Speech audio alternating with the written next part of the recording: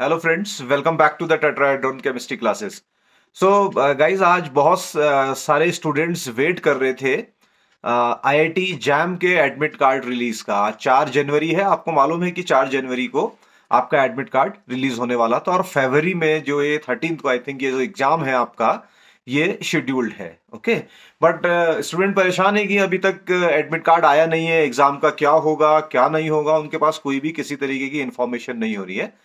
तो मैं आपको ये बता दूँ कि ऑफिशियल अनाउंसमेंट अभी आपका आया हुआ है जिसमें उन्होंने ये कहा है कि हम नई डेट एडमिट कार्ड रिलीज़ की अनाउंस करेंगे जल्दी करेंगे। तो अभी ऑफिशियल तो ये नहीं किया कि एग्ज़ाम पीछे जा रहा है या क्या होगा बट मुझे ऐसा लगता है कि फरवरी में एग्ज़ाम होना थोड़ा मुश्किल है क्योंकि जिस तरीके से आ, जो नया आपका वेरिएंट आया है कोरोना वायरस का जिसको ओमिक्रोन के नाम से आप लोग जान रहे हैं बहुत तेज़ी से मल्टीप्लाई कर रहा है। सिक्स आपने पहले भी पढ़ा होगा डेल्टा वायरस के कंपैरिजन में ये छह गुना तेज़ी से बढ़ेगा। हम्म? तो उसको देखते हुए फरवरी में मुझे पर्सनली जो आ, लग रहा है कि एग्ज़ाम तो मुश्किल है। लेकिन चलिए देखते हैं कि ऑफिशियल डेट क्या है किस तरीके से है।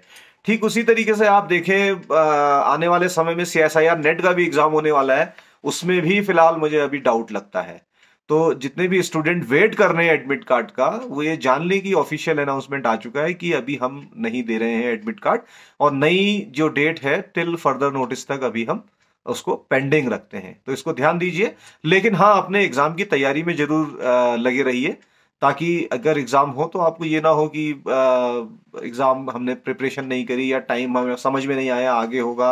या एग्ज़ाम होगा या नहीं होगा, क्योंकि ऐसे बहुत ज़्यादा नुकसान होता है। जब एग्ज़ाम में बहुत ज़्यादा टाइम आप लोगों को मिल जाता है तो फिर उसमें जो है सीक्वेंस पढ़ाई का टूट जाता है। तो सीक्वेंस बनाए रखें, चाहे नेट का एग्ज़ाम के लिए हो, चाहे आपका आईआईटी जैम के एग्ज़ाम के लिए हो, ठीक है? लेकिन एडमिट कार्ड अभी नहीं आ रहे। तो ये इन्फॉर्मेशन छोटी सी है, इसको ध्यान रखिए। चलिए, थैंक यू।